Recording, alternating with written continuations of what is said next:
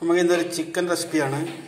അതിനുവേണ്ടി ഒരു നാനൂറ് ഗ്രാം ചിക്കൻ നമ്മൾ എടുത്തിട്ടുണ്ട് അതിന് വേണ്ട സാധനങ്ങൾ.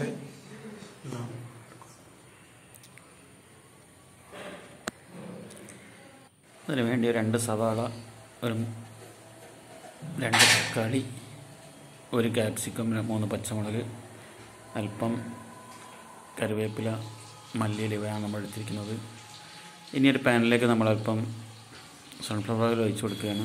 ചിക്കൻ ഒന്ന് ഫ്രൈ ചെയ്തെടുക്കാൻ വേണ്ടി.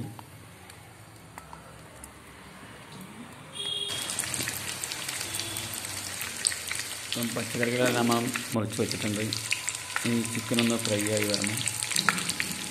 അതിനുവേണ്ടി നമുക്ക് വെയിറ്റ് ചെയ്യാം.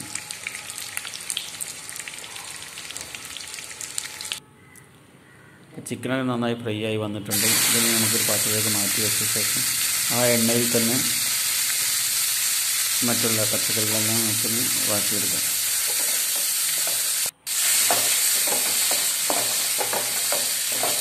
ഇതിലേക്ക് നമ്മൾ കാൽ ടീസ്പൂൺ മഞ്ഞൾപ്പൊടി ഒരു ടേബിൾ സ്പൂൺ മുളക് പൊടി അല്പം ഗരം മസാല ഒരു പകുതി ചെറുനാരങ്ങ നീര് ഇതെല്ലാം ഒഴിച്ചു കൊടുത്തിട്ടുണ്ട്. ഇതിന് നന്നായി വഴന്ന് വരുമ്പോൾ നമ്മുടെ ചിക്കൻ നമുക്കിതിലേക്ക് ചേർത്ത് കൊടുക്കാം. ഇതിലേക്ക് നമ്മൾ നേരത്തെ കട്ട് ചെയ്ത് വെച്ചിരിക്കുന്ന ക്യാപ്സിക്കം കൂടി ചേർത്ത് നന്നായി വഴറ്റിയെടുക്കാം ഇപ്പോൾ ചിക്കനെല്ലാം ഇവിടെ റെഡി ആയിട്ടുണ്ട്. ഇതിന് നമ്മൾ ഒരു പ്ലേറ്റിലേക്ക് മാറ്റുകയാണ്.